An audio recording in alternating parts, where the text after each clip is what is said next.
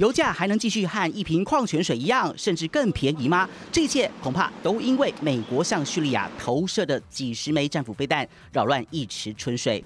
受到国际原油减产、新台币汇率走跌，依中油浮动油价公式计算，预估十号凌晨零时起，国内汽柴油每公升价格可能各调涨新台币零点五元。未来还会因为美国这起攻击持续上涨。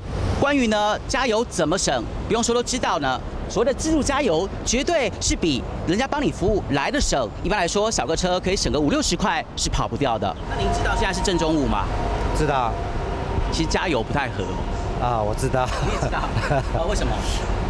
因为会蒸发嘛。党人表示，除了别挑气温高的时候加油最能省，此外还有加油时要以公升计算，也会比较省。你以公升来加，譬如说我要加二十公升，会比你譬如直接说我要加五百要来得好，因为其实就是插在油枪的切换的这个技技巧上，它可能会差个几毛钱。有加油站的工读生提供小配包，若是排队车多时，还有加油站才刚更换过新油，那指标物就是有油罐车的身影。最好也都要等等再加，因为我们的油槽底部上面会有水，哦，因为它要隔离油水会分离嘛。那它主要是怕说你在加的时候，它可能油槽滚动，那可能它的油脂就没那么纯。牢记这些，在未来油价一旦狂涨时，多少都能替荷包省些钞票。这机关红颜金语台北报道。